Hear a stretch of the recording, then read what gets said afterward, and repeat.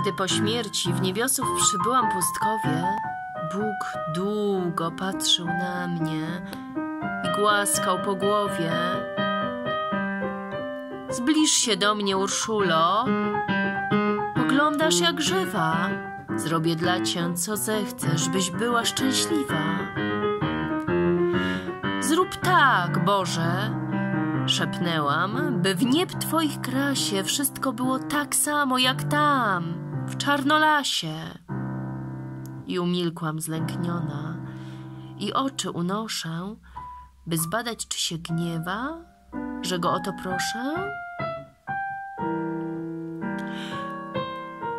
Uśmiechnął się i skinął, i wnet z Bożej łaski powstał dom, kubek w kubek jak nasz, czarnolaski. I sprzęty i donice rozkwitłego ziela, tak podobne, że oczom straszno od wesela. I rzekł, oto są sprzęty, a oto donice. Tylko patrzeć, jak przyjdą stęsknieni rodzice.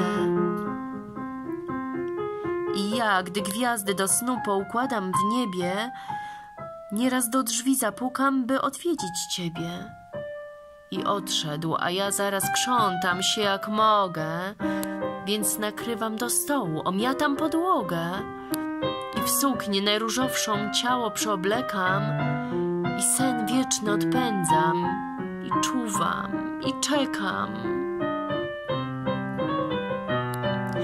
Już świt pierwszą rozniętą złoci się po ścianie, gdy właśnie słychać kroki do drzwi pukanie.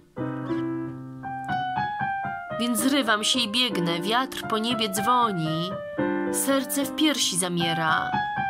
Nie, to Bóg, nie oni.